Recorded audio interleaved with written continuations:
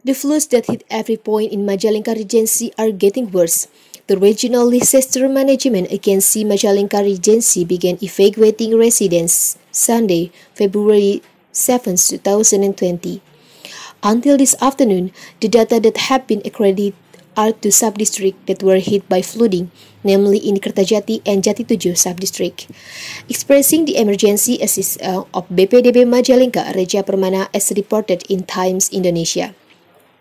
According to Reza, the location of the floods that occur in Majalengka district, including in the Biawak village block in Jati Tujuh sub-district. There were 14 submerged houses and 10 family heads or 27 people. At the location where the flood occurred, there was a national road that was inundated with water levels reaching 14 centimeters along 100 meters, causing traffic access to be clogged, he said. Furthermore, Flooding occurred in the village of Sukamulya, Kertajati sub-district, Majalengka district. The flood also inundated district roads with water levels of 14 cm along 50 meters.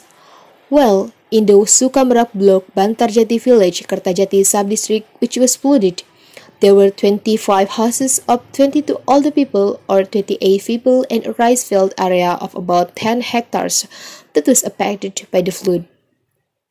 The flood also submerges district roads, reaching a water level of 70 centimeters along 100 meters, he explained. Event officers have also evacuated residents who were sick because they were trapped in the flood. Until now, the BPDB team continues to sweep the floods areas. From the data recently obtained, the flood was also obtained in Ligung sub-district to be precise in Kertasari village, with water levels reaching 20 centimeters by submerging the residents' houses, he explained.